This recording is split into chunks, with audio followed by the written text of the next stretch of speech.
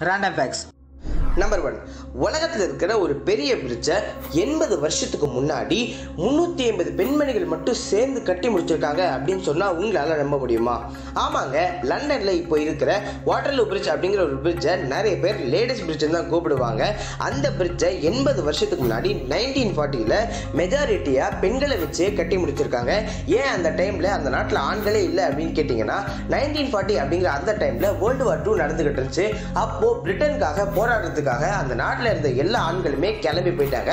ஆண்கள் இல்லைன்னா என்ன? நாங்கள் இருக்கோமே அப்படின்னு சொல்லிட்டு பெண்கள் எல்லாரும் சேர்ந்து இவ்வளோ பெரிய ஒரு விஷயத்தை சாதிச்சிருக்காங்க நைன்டீன் ஃபார்ட்டிலேயே நம்பர் டூ கார் கண்டுபிடிக்கிறதுக்கு பதினெட்டு வருஷத்துக்கு முன்னாடியே டிராபிக் லைட்ஸை கண்டுபிடிச்சிட்டாங்களா?